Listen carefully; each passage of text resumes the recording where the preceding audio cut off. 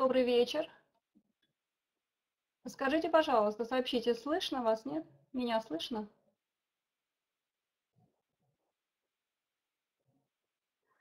Очень приятно. Еще раз добрый вечер. Я вас вижу. Все на связи. Еще раз добрый вечер. Э, мы сегодня с вами продолжим разговор о здоровье. И сегодня наша тема – это здоровье мужчин. Я думаю, на дворе уже почти лето. Женщины все делают для того, чтобы понравиться мужчинам, и мужчины должны понравиться женщинам. Так вот, что же такое представляет из себя мужчина? Чем отличается мужчина от женщины? Ну, в первую очередь, это набор гормонов. Женские половые гормоны определяют вторичные признаки, это женские, и вторичные признаки мужчин определяют мужские половые гормоны. Сегодня мы поговорим о таком мужском половом гормоне, как тестостерон. Что же из себя представляет тестостерон?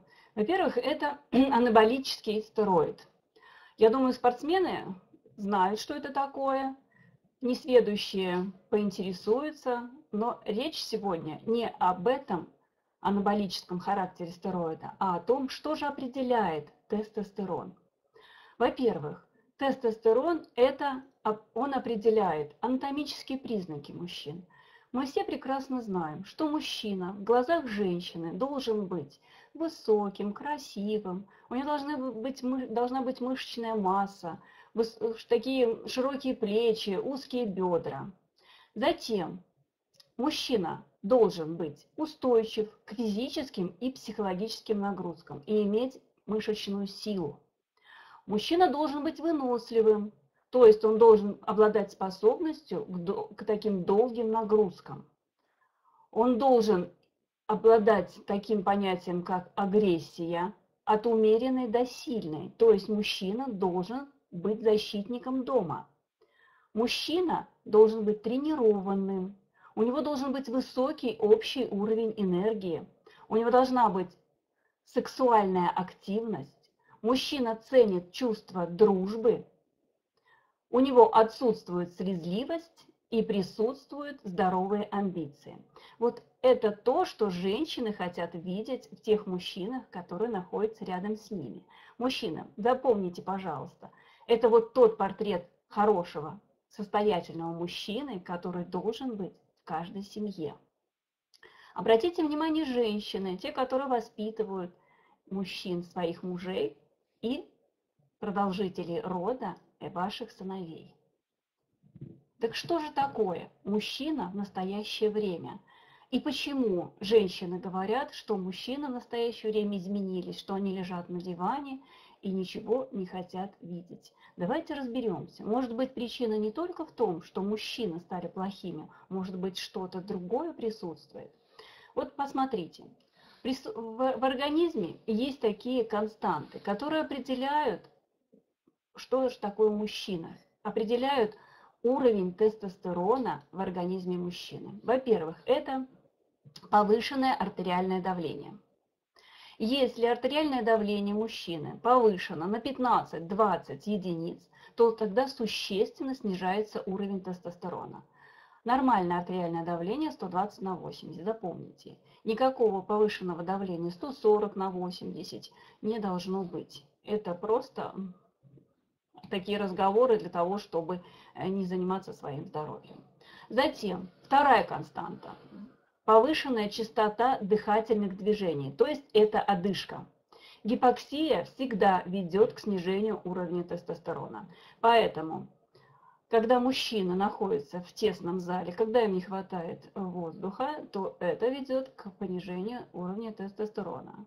Я думаю, что мужчина запомнит и будет часто проветривать комнаты. Затем, это Э, повышенное число сердечных сокращений. Сердечные сокращения в норме должны быть 80 сокращений в минуту. Если сокращения повышенные, то тестостерон может снижаться до 20-25%. Следующая константа – это количество гемоглобина. Повышенное или пониженное количество гемоглобина ведет к снижению уровня тестостерона. Повышенный билирубин, норма его 20, это тоже ведет к понижению уровня тестостерона на 20-25%. Нарушение э, работы почек. В норме э, в мужском организме должно вырабатываться где-то 2 литра мочи. Если, уровень, если количество мочи где-то снижено до 1 литра, то это приводит к снижению тестостерона на 15-20% за счет того, что в моче скапливается гормон стресса, это адреналин и кортизол. Еще одна константа, достаточно распространенная в настоящее время, это лишний вес. Лишний вес, я думаю, это болезнь не только мужчин нашей страны, она мировая проблема.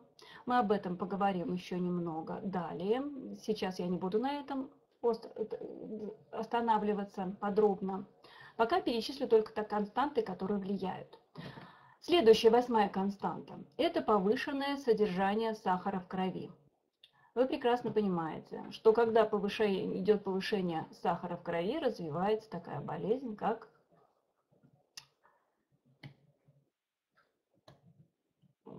простите, диабет.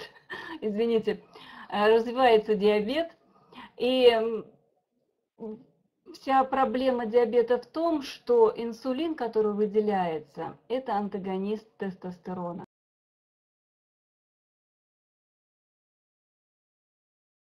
Очень много. Следующая константа – это холестерин. Все прекрасно понимаете, что холестерин – это такое вещество, которое необходимо организму. В последнее время ему почему-то присвоили такой не очень негативное э, негативный вид придали ему, что это только то вещество, которое наносит вред здоровью. Отнюдь нет. Вы знаете, что тестостерон, он собирается на уровне холестерина, и поэтому низкое содержание холестерина, конечно, может привести к тому, что будет низкое содержание тестостерона в организме мужчины. Следующая константа – это pH. Вы все прекрасно знаете, что такое pH. Это кислотно-щелочной баланс организма. Кислотно-щелочной баланс – это очень существенная константа, поскольку все биохимические процессы, которые происходят у нас в организме, они напрямую связаны э, с этим балансом. Кислая среда может привести к тому, что результатом биохимической реакции может быть э, не то вещество, которое мы ожидали бы получить в результате приема пищи. Биохимические реакции происходят в нашем организме постоянно, и поэтому это постоянно нужно соблюдать. Есть кислотная, кислотная нагрузка пищи, и, к сожалению, в настоящее время не только мужчины, но и женщины принимают очень много пищи, которая обладает вот э, кислотообразующим таким эффектом. То есть в результате приема пищи образовывается кислота все продукты, которые мы употребляем ежедневно, то это и углеводы, э, сладкое, то, что любят мужчины, мясо, рыба, это все обладает таким, такой кислотной нагрузкой на, на организм. Щелочеобразующие продукты – это овощи, фрукты, ну и зелень. Затем Следующая константа – это повышенное содержание лейкоцитов в крови. Как только мужчина заболевает, у него а, в крови образуется много лейкоцитов, а природа достаточно умная и считает, что больные люди не должны размножаться, поэтому и уровень тестостерона, конечно, будет низкий. И еще повышенная температура. Вот про повышенную температуру хочется сказать еще отдельно. Дело в том, что тестостерон у нас образуется в мужском организме, это в яичках. Яички не случайно выделены из организма. Дело в том, что температура тела нашего в норме 36,6 градуса. А вот температура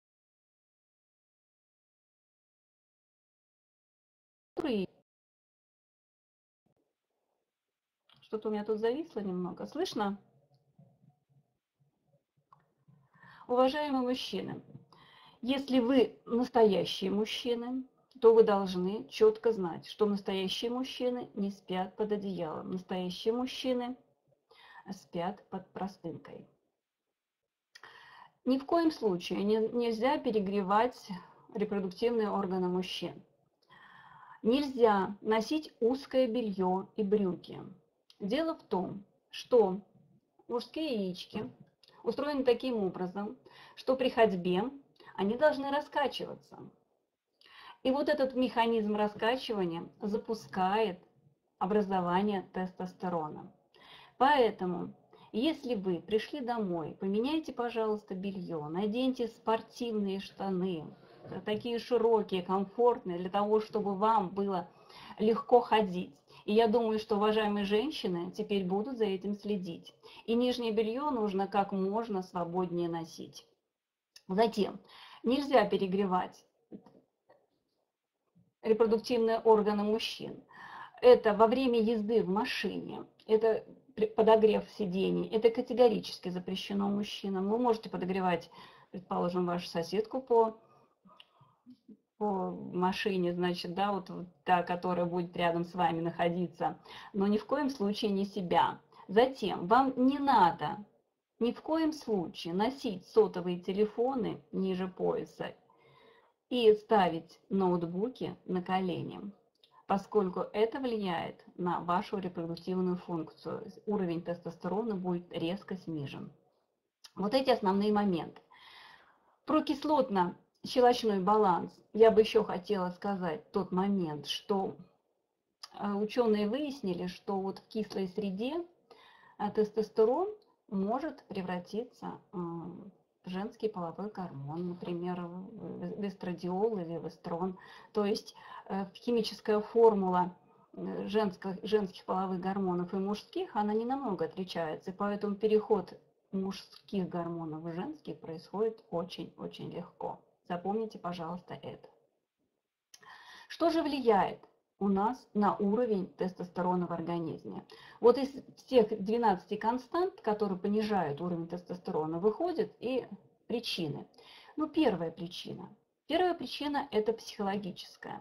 Это стресс.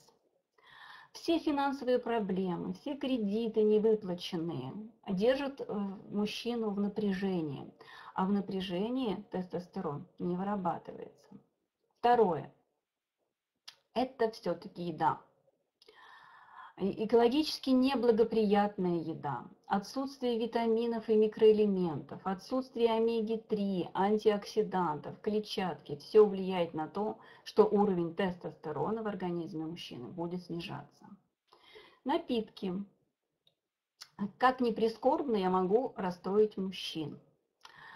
А, первые пять минут приема алкоголя, конечно же, повышают уровень тестостерона. Затем уровень тестостерона резко падает. Прием большого количества алкоголя в течение трех месяцев и прибавка в весе на 20 кг может привести к нулевому содержанию тестостерона. Еще одна причина, понижающая уровень тестостерона в организме, это агрессия бактерий и грибов. Ну, вы все знаете, что к этой агрессии могут привести и случайные половые связи. Пятая причина – это медицина. Те лекарства, которые мужчины могут бесконтрольно принимать. Ну, такие препараты, как противоязвенные препараты, атропин, они, они приводят к тому, что уровень тестостерона резко снижается. Ну, наследственные факторы тоже, конечно, влияют. А, травмы, которые могут сопровождать мужчину, предположим, в каком-то там юношеском возрасте или в детском возрасте. Это травмы репродуктивных органов, яичек, любые травмы, которые случаются на период болезни, они, конечно, приводят к уменьшению уровня тестостерона. Я повторюсь, еще раз скажу, что больные не должны размножаться. Вредные привычки приводят к тому, что уровень тестостерона снижается. Это такие, как курение, беспорядочный секс, нерегулярный секс. Биоэнергетические факторы – это вот те же самые мобильные телефоны на поясе, ноутбук на коленях. Это то, что приносит вред мужчине. Время оказывает такое вот влияние, да, то есть организм стареет, ну и экологические факторы. И хочу сказать про гиподинамию. Все тот же лишний вес. Иногда женщины не до конца понимают, почему мужчина начинает, предположим, валяться на диване и перестает заниматься зарабатыванием денег. Дело в том, что вот эта гиподинамия лишний вес, они настолько причиняют вред здоровью мужчины, что это настолько порочный круг, что его разорвать бывает очень трудно. Дело в том, что как только уровень тестостерона снижается, а он определяет э, такой фактор, как мышечная сила мужчины, у него появляется лишний жир. Меняется его фигура, обвисают плечи, Появляется жировая ткань в области талии, в области бедер. У него становится такие э, неупругая кожа, у него э, может быть э, какая-то слезливость появляется, он начинает себя жалеть, лежа на диване.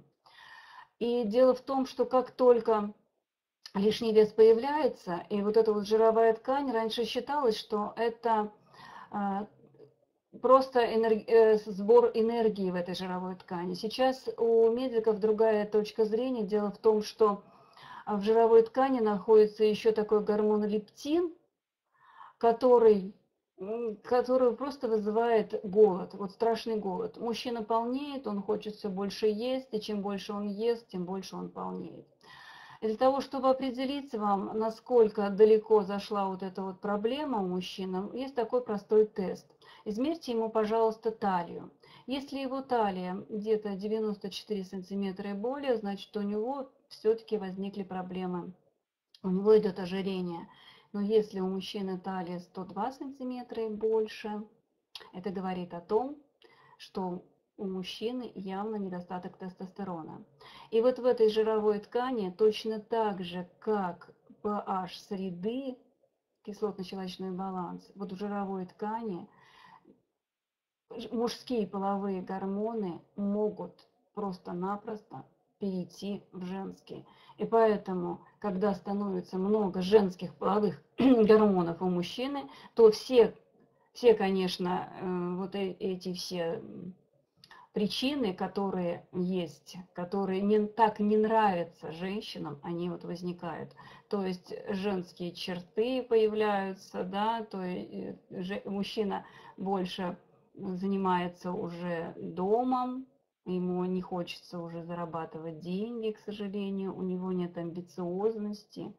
Я думаю, что это не касается мужчин, которые работают в Oriflame. Я все-таки глубоко надеюсь, что у каждого есть здоровые амбиции, и каждый мужчина, который работает в Oriflame, стремится стать президентом.